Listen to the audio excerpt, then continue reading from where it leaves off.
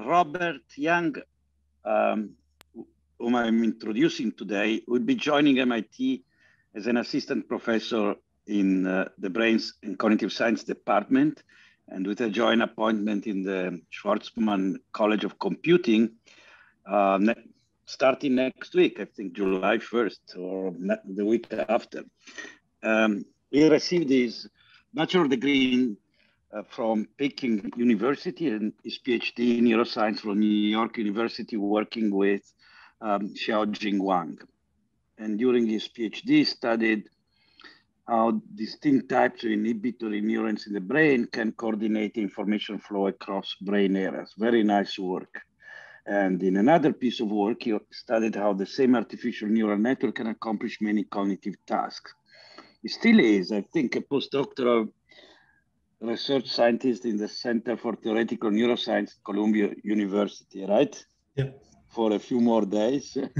and and uh, um, I'm very happy to welcome him at CBMM. He's probably the newest member of CBMM. I really think that his approach is exactly what we need to bridge computation with machine learning and to really transform um, deep learning models into serious models of the brain. Right now, they are engineering artifacts with uh, little um, relations, concrete relations with neurons, synapses, and often even with the anatomy and the physiology of the brain. But Robert's approach is uh, uh, incorporates a lot of biological constraints that we know from neuroscience, and his models are real neuroscience models. And we'll speak about some of this work. He has been doing a lot of different things, but some of this work in terms of recurrent networks. So welcome, Rob. Thank you for the invitation and for the very nice introduction. Very happy to be here. So today, um, this is kind of an unusual talk because uh, I'll talk about science, but also give you some opinion on uh, what I think should be the next generation recurrent neural network models for cognitive neuroscience. This is uh, by no means, you know, kind of the only view, right? But I want to present you one view um, with with some evidence from our own work. Uh, so of course, I don't have to tell this audience that neural networks have been used in cognitive science and neuroscience for many decades, right? Dating back at least to the 80s, probably earlier. Uh, in neuroscience, for example, they have been uh, neurons and feed-forward network have been compared to neurons in parietal cortex, Zipser Andersen. Um, and then in the cognitive science field, right, it's a whole business. The connectionists um, have um, did a lot of work, um, right, starting with uh, a lot of these uh, earlier feed-forward network, but also they did these, for example, like recurrent networks and then multi-area recurrent networks it's a very rich literature. Uh, but in neuroscience, particularly, um, there has been an increased uh, interest since the 2010s, and a lot of it started here at uh, started at MIT uh, with um, Dan work and Jim DiCarlo's work, but many people have also uh, worked on this, or too many to be listed here.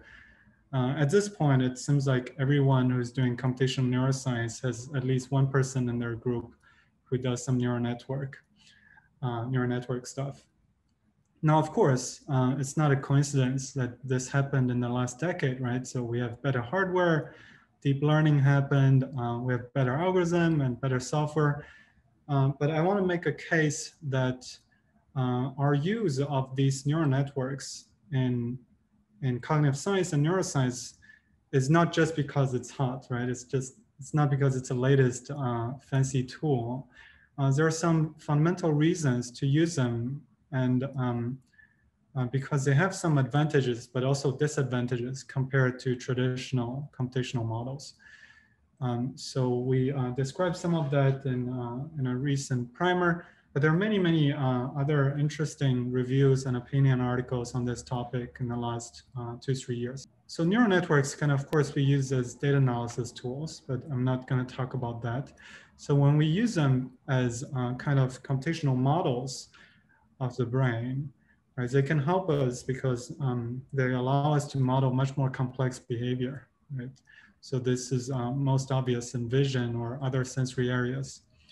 Uh, for cognition, they're really helpful at explaining complex uh, activity that is observed in the brain. It's, it's, very, it's quite hard to capture complex neuroactivity patterns that you observe in prefrontal cortex with hand, hand designed uh, neural networks.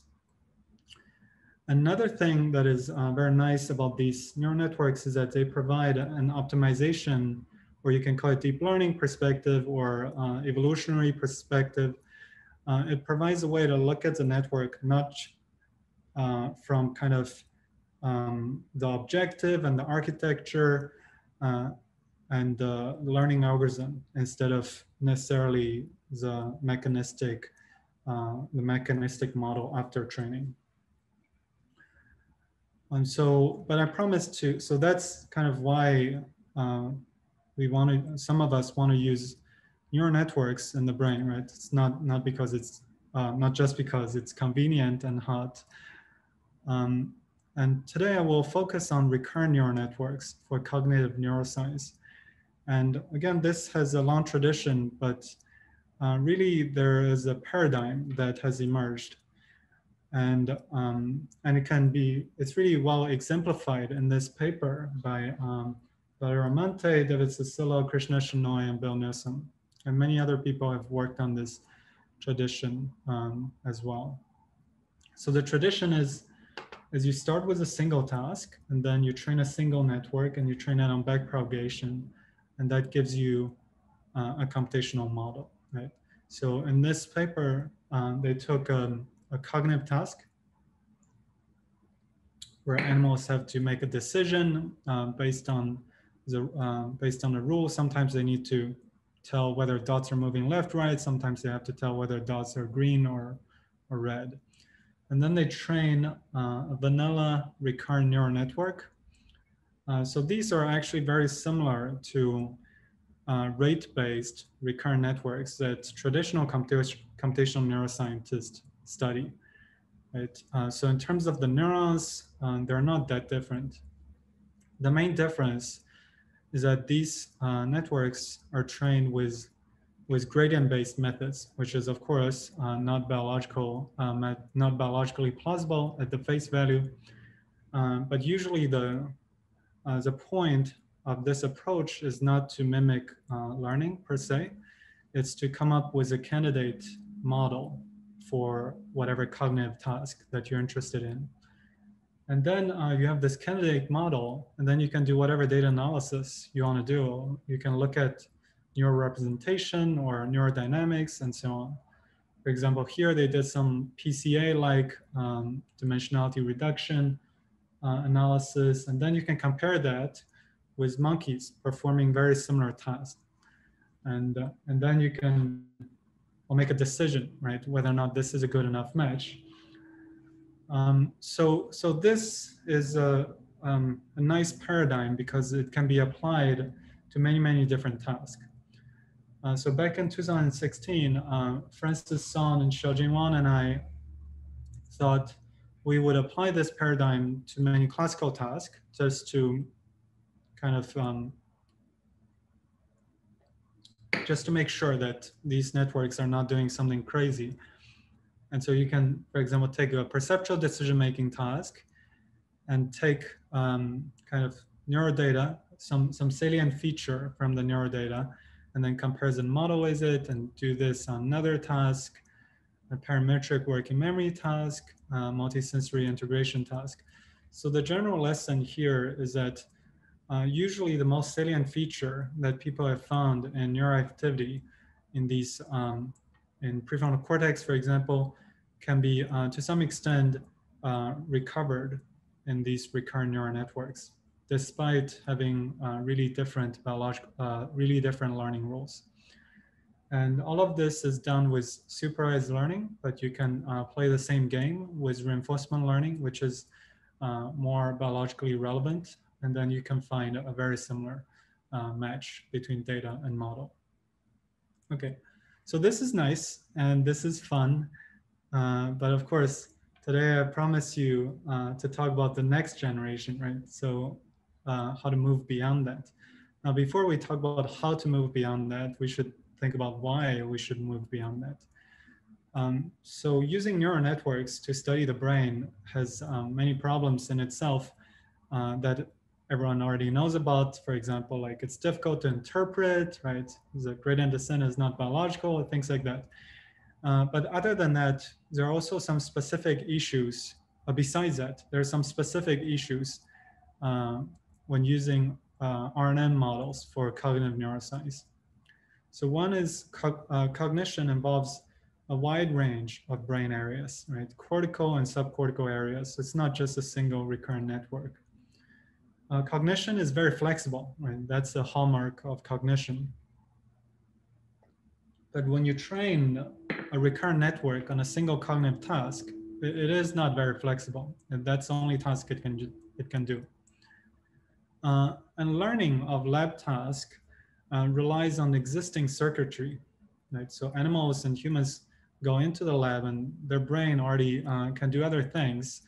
Uh, so it's not just a completely random network uh, like what we do when we train a, a network um, in machine learning. And so there, there, there are probably more issues that I'm not talking about here. Uh, so these are reasons that we should move beyond um, this first generation. Um, and now how should we move beyond it, right? So just, um, just to recap, the first generation here, we're talking about single cognitive task, a single uh, module rate-based RNN, and then training algorithm is uh, backpropagation based. And then hopefully uh, in the future, we can get to more naturalistic cognition. Uh, we can incorporate multiple areas and cell types and so on. And then uh, we can have biological learning and plasticity rules. So how do we go from the first generation to the future? So today I will talk about a few works. Um, some is, uh, done by me, but some some is collaborative um, that really just start to explore right these uh, this effort. It's uh, nothing is nothing is fully satisfactory yet. So first, let's talk about how we can move away from uh, looking at a single cognitive task. So of course, uh, prefrontal cortex uh, is engaged in many, many things. Right? It's not just a single task. You can the same neurons be involved in working memory and decision making and other things. So how does the same circuit perform many tasks? So this was the scientific motivation for us uh, when we did this work. Um, so this is uh, this is already published two years ago. Um, so we can come up with some hypothesis, right? How the same circuit can perform many different tasks.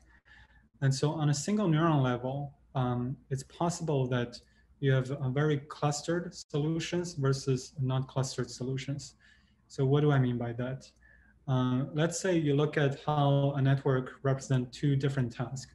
It's possible in one extreme that you have a completely um, private network for each task, right? And then they're, uh, they're completely independent.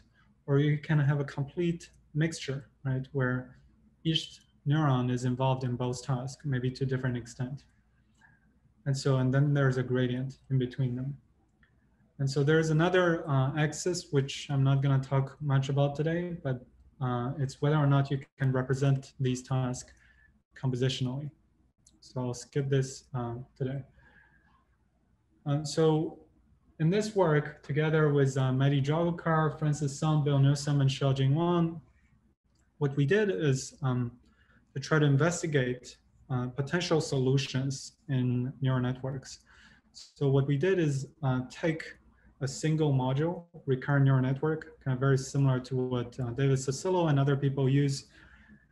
And then uh, we simply train it on uh, many different tasks that cognitive neuroscientists have studied, uh, particularly in animals like monkeys.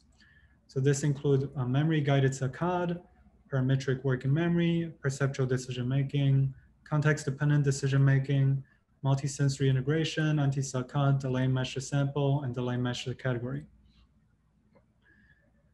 And uh, some technical details. So here we use vanilla recurrent neural networks and train it with um, simple stochastic gradient descent, uh, ADAM in particular.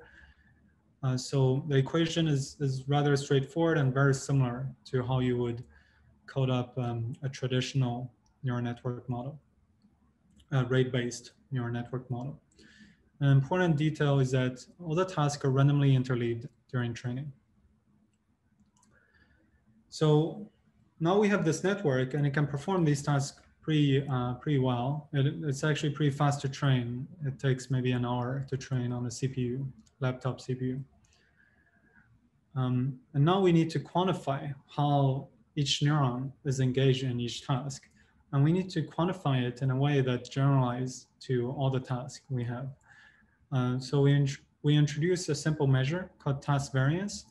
Uh, so what it does is uh, you can take a unit and you can look at uh, its activity across different task conditions. So this can correspond to different stimulus or different uh, response uh, in one task, different conditions in one task. So you have these different curves and then you, you simply look at the variance across these curves, right, as a single time point and then average across time point.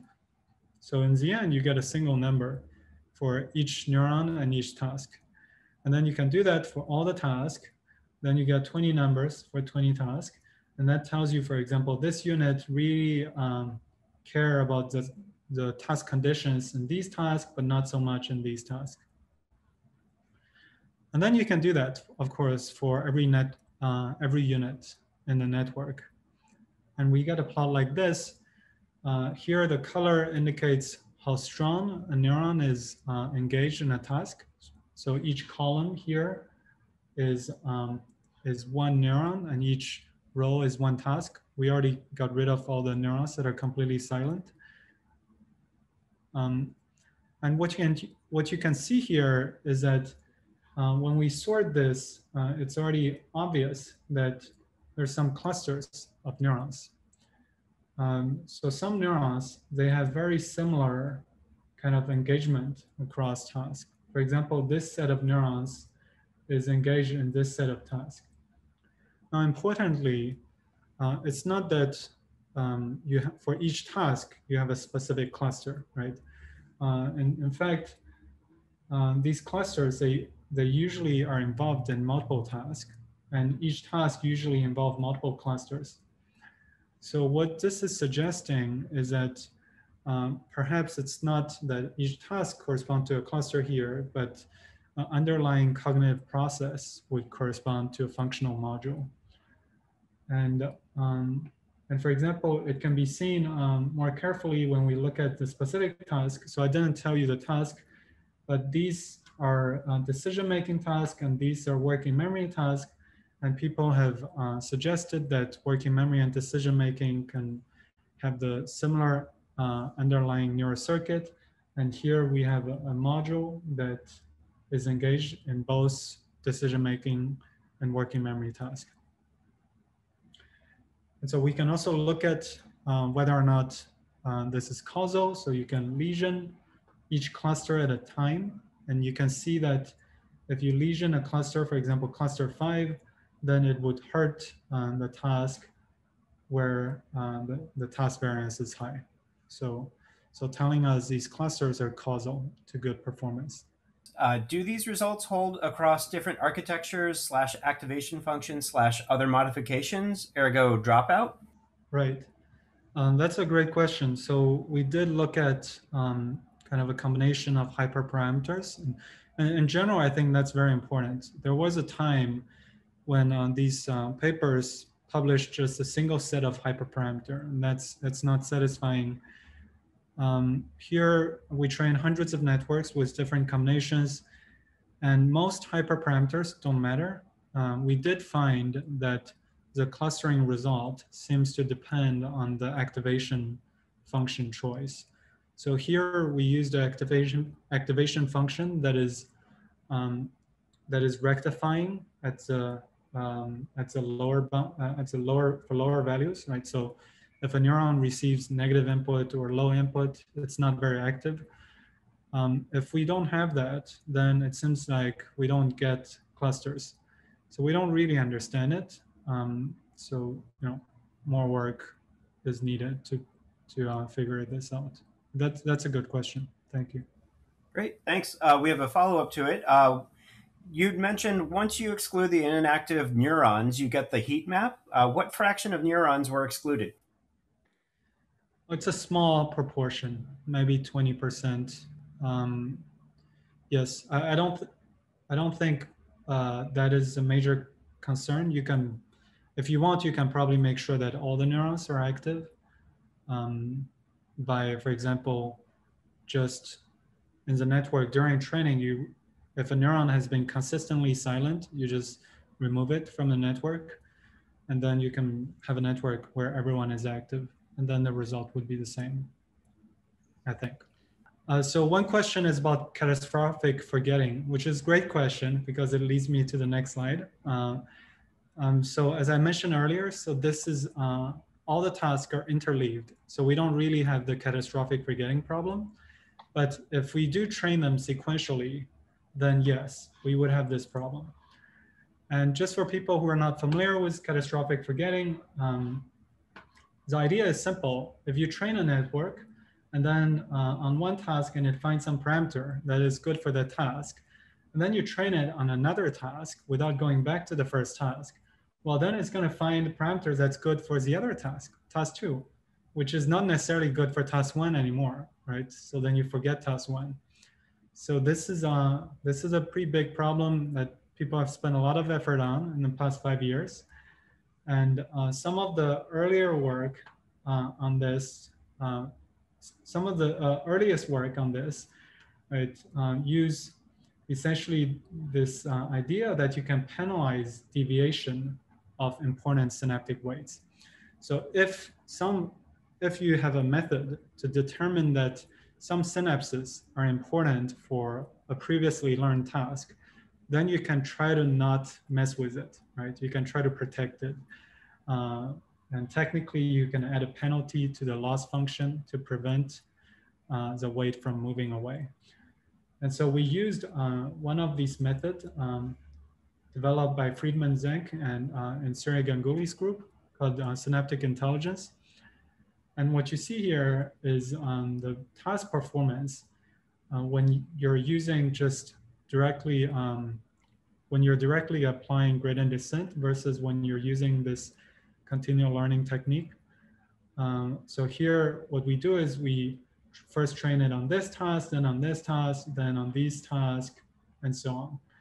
And what you can see is, um, for example, if you look at this task, uh, when you're training it, of course, it's doing pretty well. But when you're not training it anymore, then uh, the performance starts to drop. Uh, and using traditional method, but using continual learning method, you can get better. And this is quantified here. So this is a performance after all the training. So it's measured at the end uh, across all tasks. And you can see, for example, for this task, uh, it really makes a big difference. If you uh, if you're using this continual learning method, you can do much better than if you do traditional method. But of course, if we just stop here, then this is just another application of their very nice rule, right? Uh, what we want to do is, again, look at the neural representation and see whether or not continual learning is having an impact on the representation. And in this case, we also want to compare with data. Uh, so to compare with data, what we will do is we will focus on just two tasks um, because that's where we have the data. So these are the context dependent uh, decision making one and two task, which is the Mante task that uh, I started, uh, I introduced earlier. So now we, we need to have a measure that uh, focus on just two tasks. Um, so if you remember this plot, this is the task variance um, map.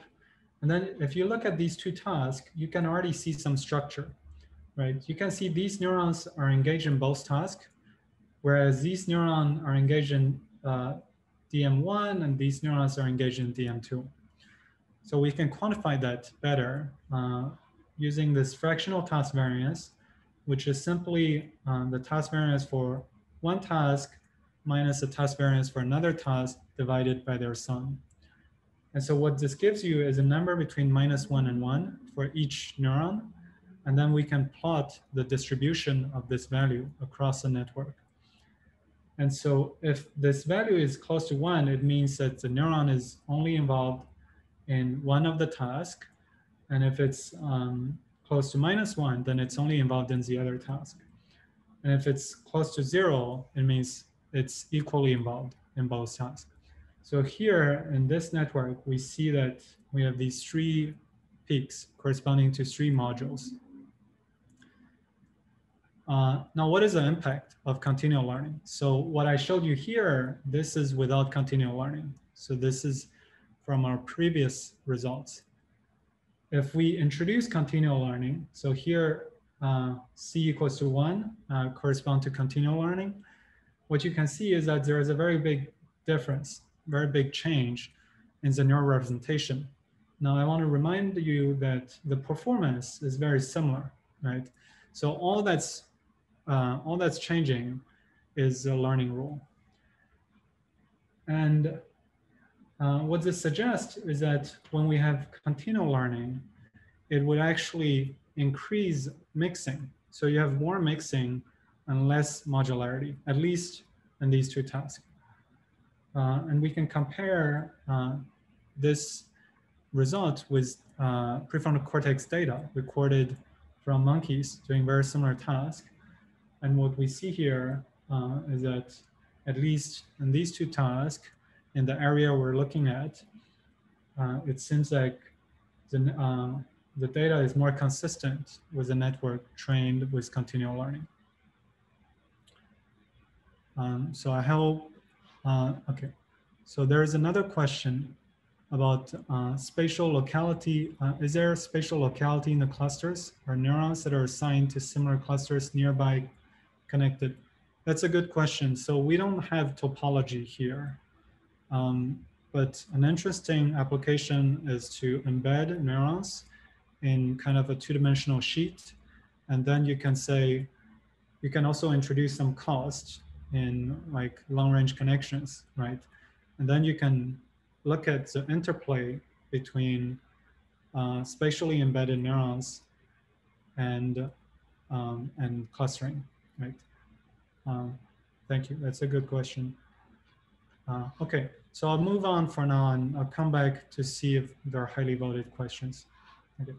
So just briefly mention that when I was doing that, uh, that work, uh, it became very obvious that it's, it's very kind of tedious to code up 20 tasks, right? And then it'd be tedious if someone has to do it again.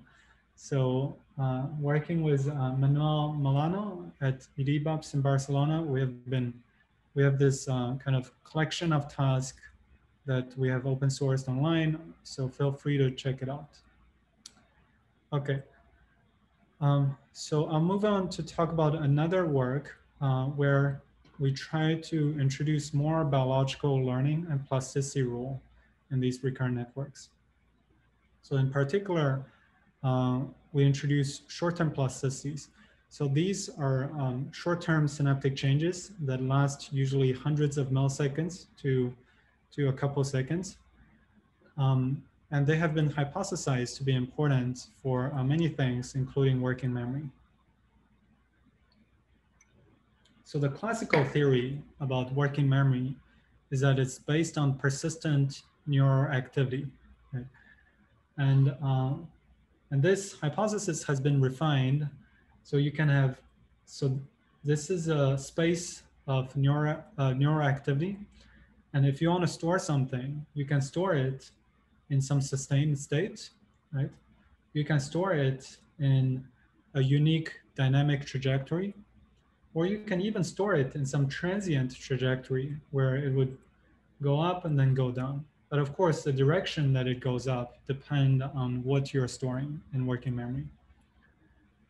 Uh, now, an alternative hypothesis was um, was proposed, which is that or it's not so much an alternative, it's a complementary uh, a complementary uh, hypothesis, uh, which is that uh, working memory can rely on short-term synaptic plasticity. So the way it works is that uh, first you activate some neurons when you show a stimulus, and that would strengthen the connections going out of these neurons. So that even when the neurons, themselves, neurons themselves are no longer active, you still have the trace of memory in the synapse. And then you can essentially recover that, uh, that trace by reactivating this population um, just uniformly. And then, but because these synapses are, have been strengthened, they would be able to reactivate the neurons that are relevant.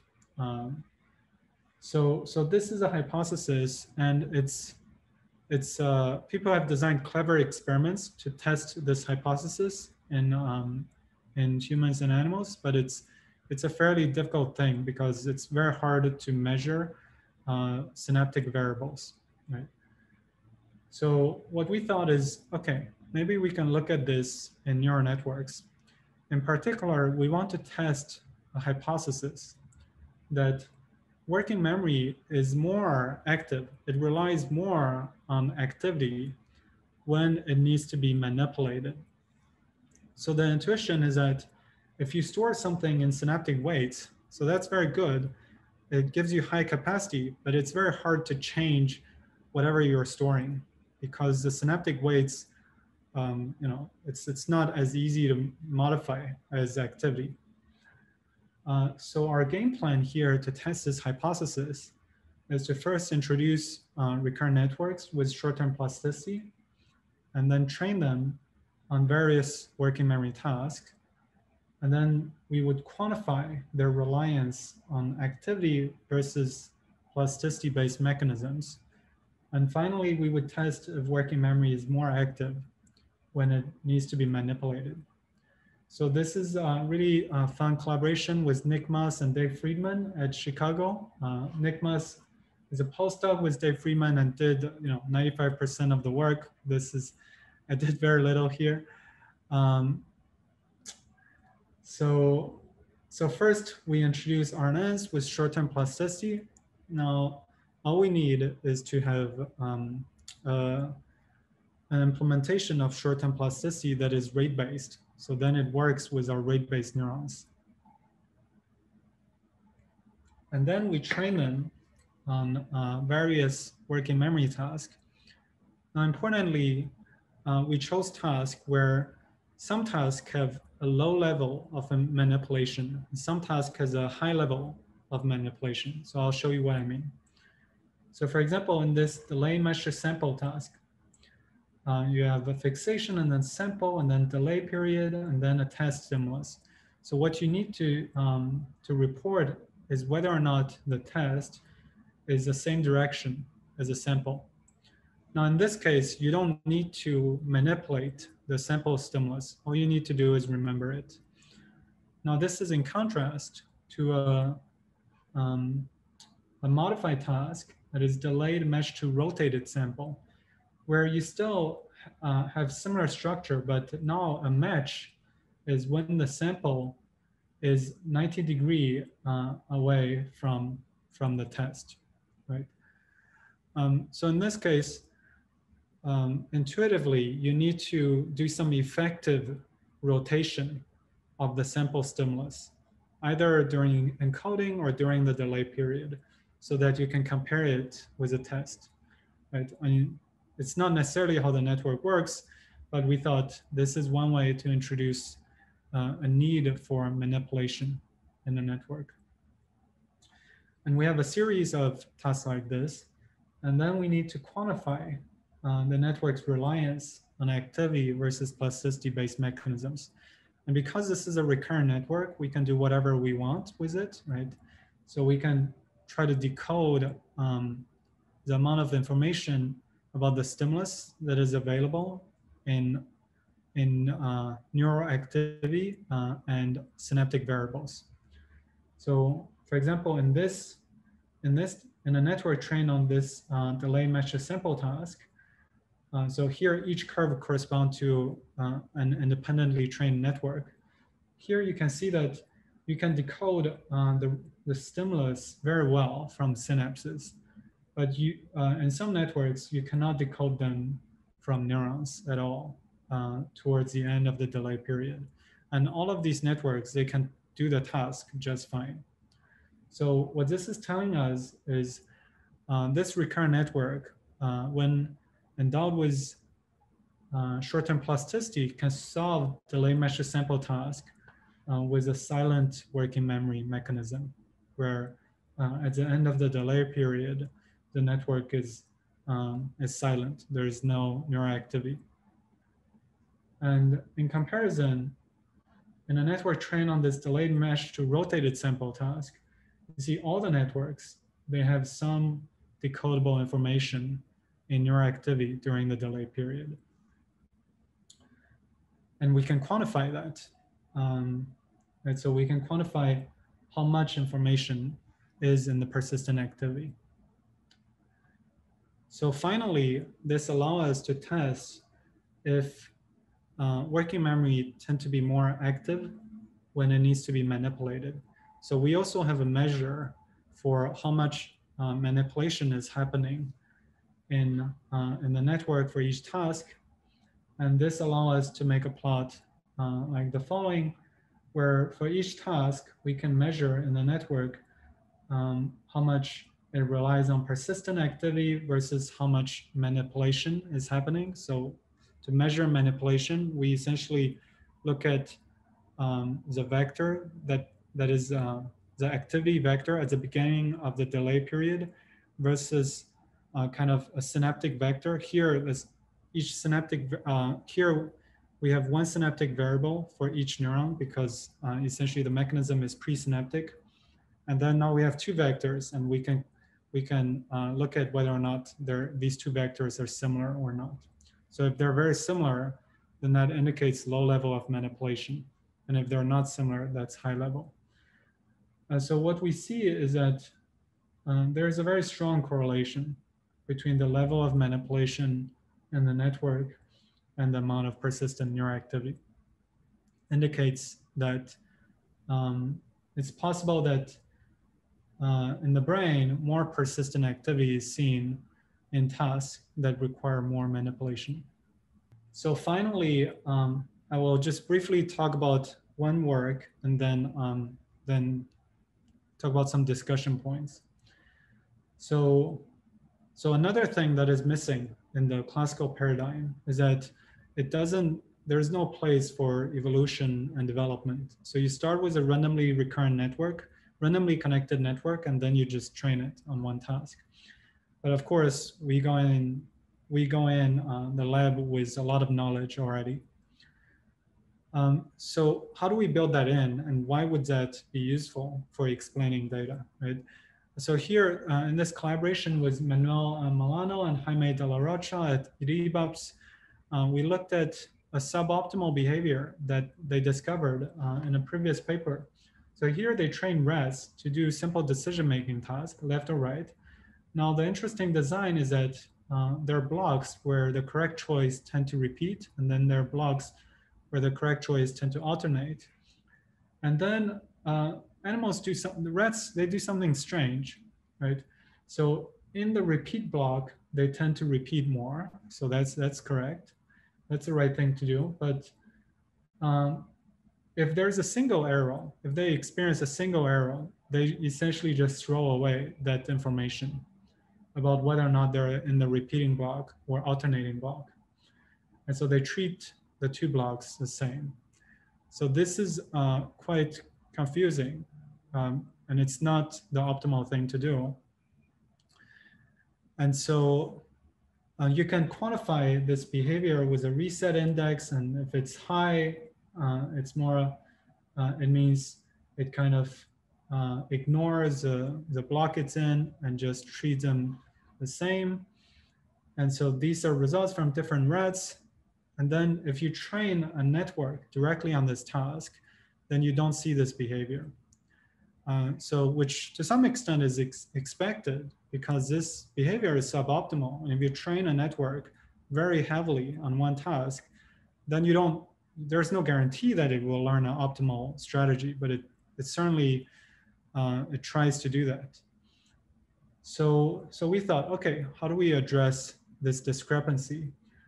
Um, and we thought, okay, in a natural environment, but not in a two AFC case, not in a two alternative force choice case. In a natural environment, a correct and an error uh, is not equally informative, right?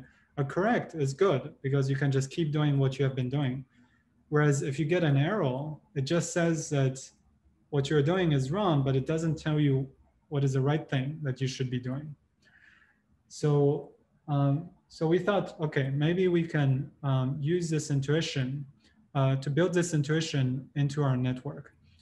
So what we did is uh, we pre-train uh, network on an NAFC task. So instead of a two AFC, where the network always see two choices, where uh, if you get error on one, that means the other choice is correct.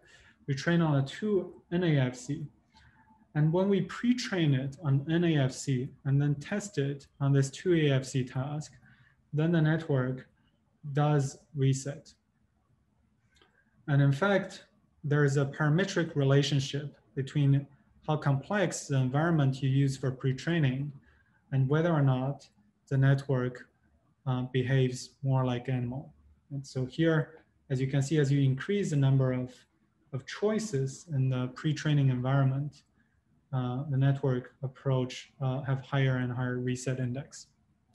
So this is an example where taking into account of the history, right? It can be evolutionary or it can be developmental um, of, uh, of animals before they enter the lab can uh, presumably help us better capture suboptimal behaviors of animals, right? And the suboptimal behaviors themselves may not be suboptimal uh, in general. They may just be suboptimal in that specific task. So finally, I want to end with some um, kind of discussion points. So I have shown you three examples about how to um, how to um, go beyond the first generation. So one thing I really want to do uh, in my new lab at MIT is to look at multi-area models. Now I want to make a case that uh, we can already build multi-area models if we're only focused on engineering right? So it's so for those those of you who use PyTorch, you know, to be to go from one area to n areas, you just it's a single number, right? When you do torch dot rnn. Um, and and then this work that I did together with Igor Ganichev, Jon Shlens, and David Sussillo uh, back at Google. So what we did is build a, a multi-area model that incorporate visual, uh, visual areas, a short-term memory uh, area, a semantic uh, memory area, and a controller that sends a lot of feedback. Uh, so feedback to these earlier areas um, about different attention mechanisms.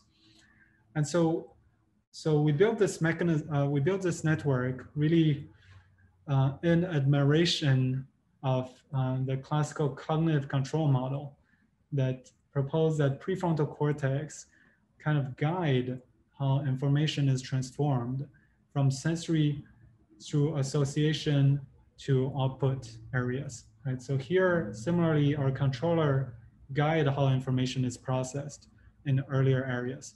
So we can build a, a complex model like this, and it can do complicated things, right? So it can do, uh, it can perform uh, pretty well on this um, CLEVR data set that was proposed uh, several years ago, um, where a network is shown image like this and then is asked questions. Are there an equal number of large things and metal spheres? So this is already a pretty complex task, and I would argue is, is uh, more complicated in many ways than most tasks that we study in, uh, in animals. So, so this is showing that from an engineering standpoint, uh, maybe we already have the computer power and the tools to build sophisticated network that can have multiple areas and do very sophisticated things, at least in terms of animal cognition. Um, but we're not done because there are many scientific questions that are not answered, right? If we care about science. So for example, one thing is how do we capture the diversity across brain areas with a few principles? So I'll go into more about this in the next slide. And there are uh, many more. For example, how to meaningfully map RNN areas to brain areas. Uh, how to evaluate multiple area, uh, multi-area models across many experimental data sets. How should multi-area models be trained? Right, so here we just train it on one massive task, or you can meta train it on some massive metadata sets. But is that the answer? Right? Maybe it is, maybe it's not. We don't know. And there are many more. And so to give you a taste of the challenge um, ahead of us, uh, so I'll talk about this, this question of how to capture the diversity of, across areas with a few principles. Um, so, so earlier I was talking about prefrontal cortex as if it's just a single area. And of course it's not, right? It consists of many areas. So this is just a, a view of the, the lateral, uh, lateral areas in prefrontal cortex, and there are many more areas. Um, and, and they each have kind of not completely different, but different properties and different engagement across, across task. So how can we build models that meaningfully capture this diversity? So one idea, or perhaps the only idea I would say that we have right now is to rely on area specific long range connectivity. Right? So one example is to build in kind of hierarchical organization where you have uh, several areas and you can have the first area receive or preferentially receive sensory inputs and then the last area preferentially uh, produce motor outputs and then middle areas that is in the middle. Right? So that's one way that we can build area specific long range connectivity and it does uh, work um, to some extent. It can, the early area, for example, in this very nice paper uh, by Jonathan Michaels and colleagues, this early area is more uh, similar to parietal, uh, parietal cortex that they recorded. And middle area is more similar to prefrontal cortex. And then the last area is more similar to motor cortex. And so another possibility is, um, is to have, for example, different readout. So here uh, in this uh, in this work back in 2017, we built a, a two area network where um, it's trained, um, it's an actor critic structure trained, um, trained on a bunch of tasks. Uh, and this area um, need to produce action outputs. And whereas this area need to produce a value of the state, right, in reinforcement learning. And what we see is that uh, this action producing area is more similar to DLPFC, whereas this value producing area is more similar to orbital frontal cortex. Right? Um, but these are just uh, some examples. What we lack is kind of a more, um, just a, a more general demonstration that this principle work. And we also need to understand to what extent this, this doesn't work. This is not enough. Uh, so finally, I'll end by saying, um, how should we build uh, next generation RNN models um, with a certain style, right? Uh, I've been struggling a lot or thinking a lot about this uh, because um, you know many of us we read a lot of machine learning papers and at some point you start to think more like machine learning people right you're tempted by that and uh, but on the other hand, you if we want to do science, we cannot completely do machine learning, right? So how do we strike the balance? Uh, so this is just my thoughts, and it's you know just some ideas. Uh, one is that uh, we should have a continual commitment to functions. And so today mainly I talk about how we should introduce biology in the network. But of course, if you just focus on that, then the networks may not be able to do interesting things. And then we kind of lose the whole point of, of studying these recurrent networks in the first place. Right? Um, so we should still commit to studying um, interest uh, networks that can do interesting things. but at the same time, we should stay close uh, to experimental data, right? If we just focus on building very, very powerful machines, then um, we become kind of, far, it's farther, we become farther away from science and it's harder to see the relevance to the brain. And then finally, I think we should emphasize both quantitative metrics and intellectual insights.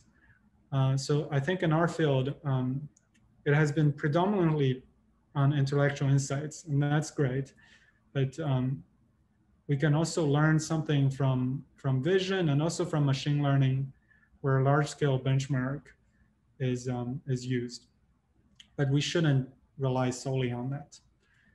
So with that, uh, I'd like to thank um, people that over the years have been working on this line of work. I only got to talk talk about some of these work. Uh, in particular, I want to thank Francis Song, um, who, who went to DeepMind, uh, and then Xiao Zheng, who was my PhD advisor at NYU, and then uh, Manuel Molano, uh, with whom uh, I did several work.